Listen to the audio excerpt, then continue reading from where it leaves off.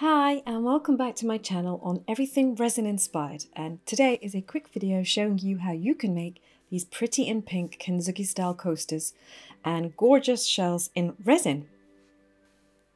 For this project you will need some Shelley's white shells, some dusty pink pigment paste, some crystal resin and some Kintsugi style silicone molds. I'm starting with some resin that I've mixed for 3 minutes and it's important to mix your two part resin well to avoid streaks or sticky spots once cured.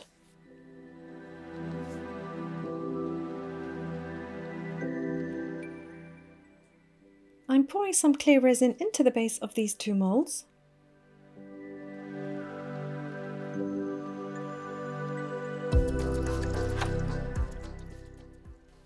I'm adding some more resin into another cup and I'm going to add my dusty pink pigment paste and mix well.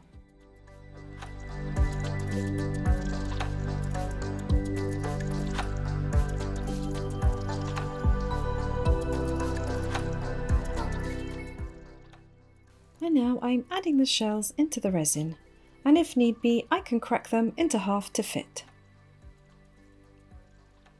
To get rid of any bubbles you can use the bubble eye and just spray on the top.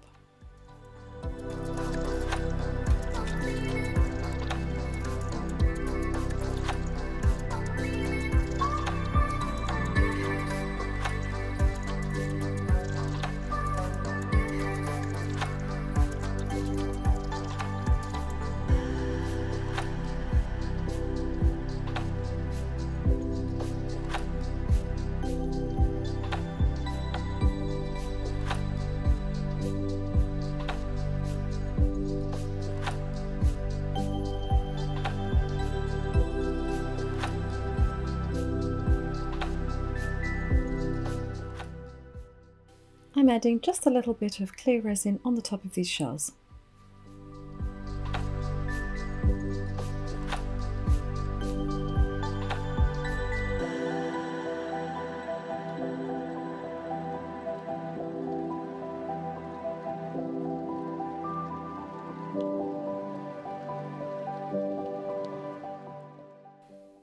I added the dusty pink in spirals to the rim of the mould spiraling into the centre.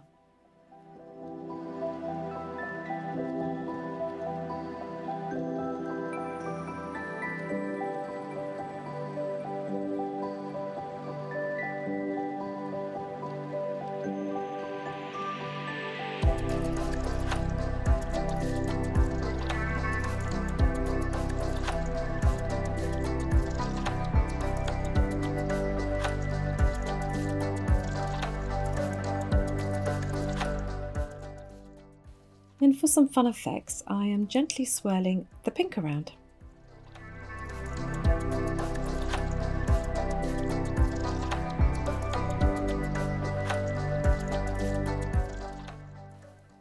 I've left these to cure until the next day and now it's time to unmold. And if you wanted, you could also pour the pink on one half of the coaster for a different look.